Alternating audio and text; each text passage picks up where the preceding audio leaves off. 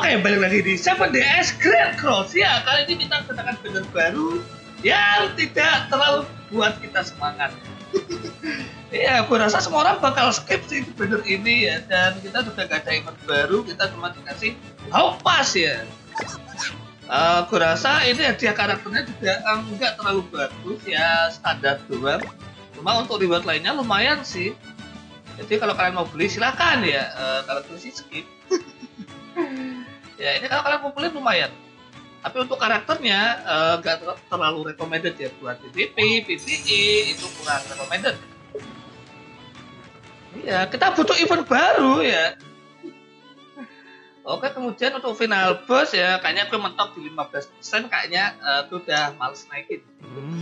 Ya, gue mentok 1500 dan ini masih top 10% ya, gue rasa uh, bisa bertahan sih 15% ya, lumayan soalnya.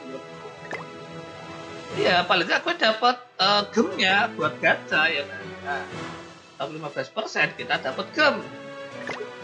Ya walaupun harusnya top 5% sih paling enggak ya buat dapetin anvil ya. Cuma ya udahlah. Anvilnya nanti kita cari di Guild Boss ya. Udah gak kuat. Ya, saya tidak kuat mentok. Oke kemudian apa namanya? Eventnya juga gak ada yang baru ini masih lama. Semua dan kita langsung bahas eventnya gue saranin kalian gak usah gacha sih serius ini nanggung Oke, Elizabeth ya, Elizabeth biru. Ini uh, agak aneh sih. Oke, dia skill satunya disable debuff skill ya. Kemudian untuk skill, apa level 2-nya dia kasih damage 120%. 120%. Ini dikit banget. All enemies kemudian disable debuff skill. Kemudian untuk yang level 3 cuma naik 60%, 180% ya. Dan disable debuff skill. Serius ini gak terlalu kepake sih kalau sama si siapa? Kalau sama si eh, apa Elizabeth ini kenapa? Karena skill 2-nya imun. Dia ngapain di sampel debuff skill kalau dia bisa kasih imun ke temen ya. Jadi gue rasa enggak enggak terlalu sinkron ya. Ini ini karakter kayak gabungan Arthur sama Elizabeth hijau sih. Cuma nanggung serius serba nanggung. Ya uh, level satunya remove debuff, kemudian level 2 nya remove debuff, kasih heal sama debuff. Ya banyak sih efeknya cuma kurang. Kemudian apa namanya? Yang level 3 dia remove debuff total ya. Jadi semuanya di remove debuff kasih heal kemudian kasih debuff imun.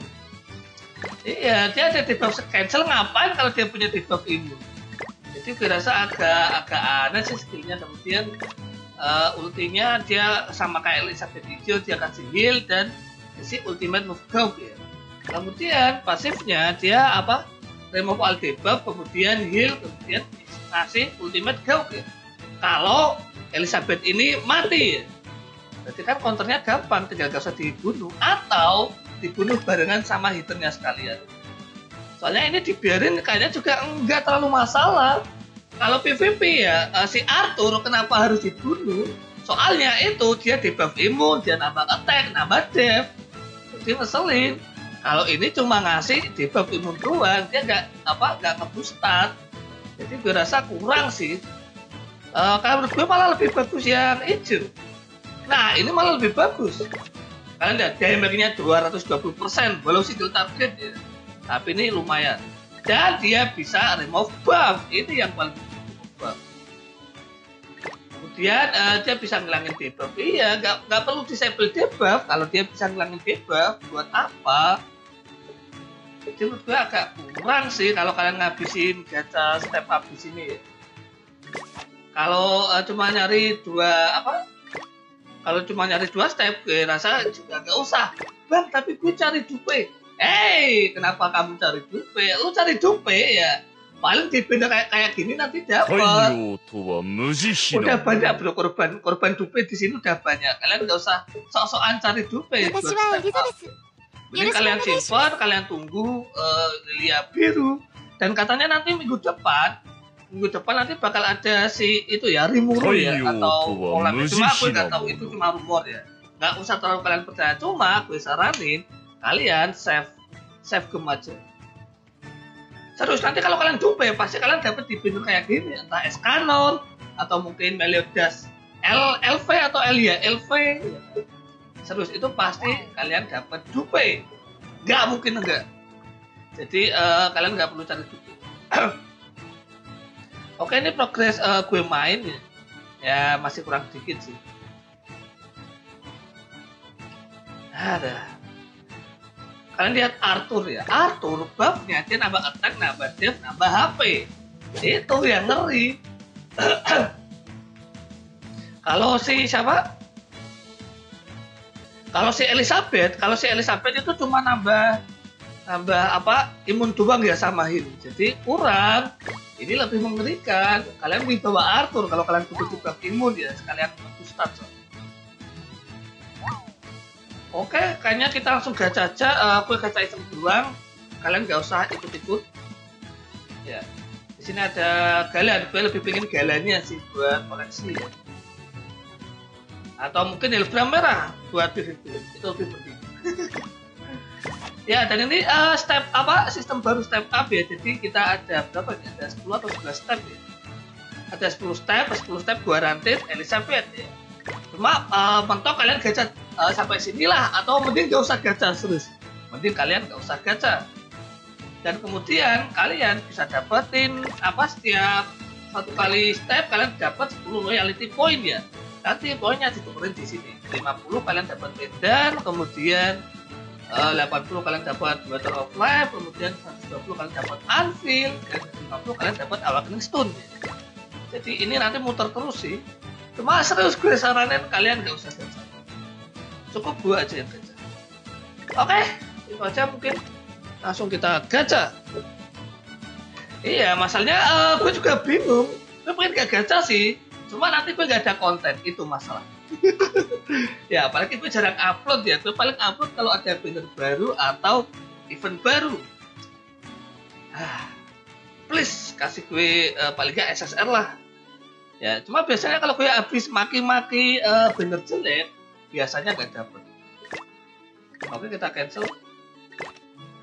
Bisakah kita dapetin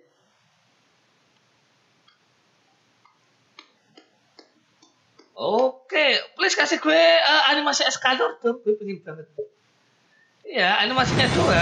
Oke, how uh, gak ada matahari. Katanya ada matahari ya pas keluar eskador. Aduh ya, kayaknya eskador harus juga. Dan kalian yang belum dapat eskador, kalian bisa habisin game kalian di eskador. Serius? Ini Elizabeth gak gue rekomendasi sama sekali buat dibaca ya atau ditonton kecuali kecuali kalian uh, apa waifu atau mungkin kalian pengen koleksi ya silakan saja. Cuma kalau buat kompetitif PvE PvP itu uh, tidak gue saran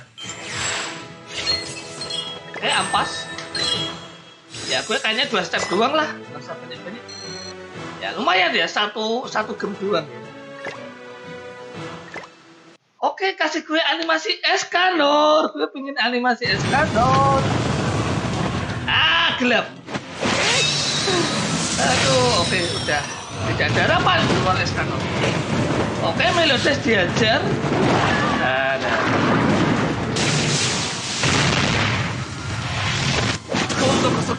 Serius Kiru. Ah, aku rasa Oke, diajar. Nice.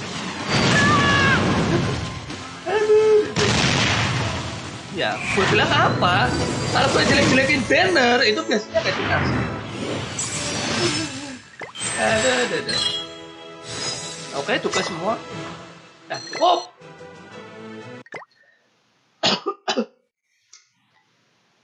ya nanti kalau kalian sampai gacha 5 step kalian dapetin SSR pedan ya kalau dua step emang nanggung cuma ya ya udah aku cuma uh, gacha iseng doang.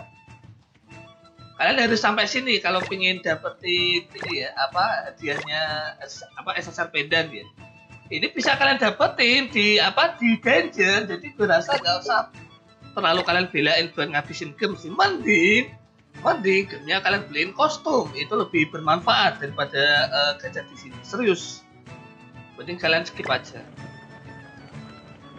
oke kayaknya itu aja yang bisa bebas ya karena emang gak ada event ya nggak ada event soalnya Oke itu aja lah. Oke makasih udah nonton dan gue saranin serius kalian gak usah baca. Yang belum subscribe subscribe bro agar gue semangat di video. Sampai ketemu di next video.